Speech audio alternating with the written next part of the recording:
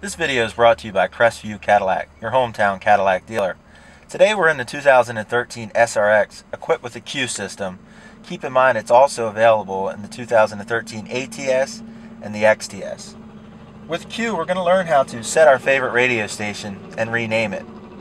At this point we're going to go into the audio feature, press the voice button, Say play followed by a media selection, or say tune followed by a station number.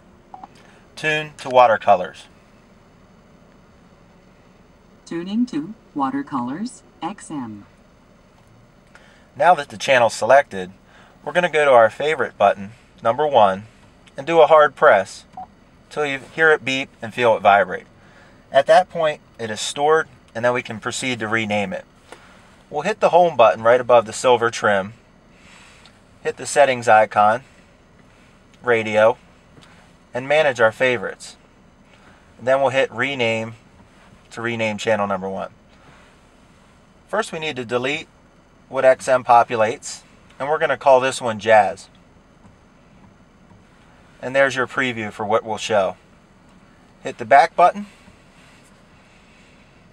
and then we'll exit out of there because the rename was saved. And then you'll notice at the bottom in your favorites panel, Jazz has been saved. Keep in mind you can save up to 60 favorites. And now you're at the point where you can start to enjoy your customized CUE system. This message has been brought to you by Crestview Cadillac of Rochester, Michigan.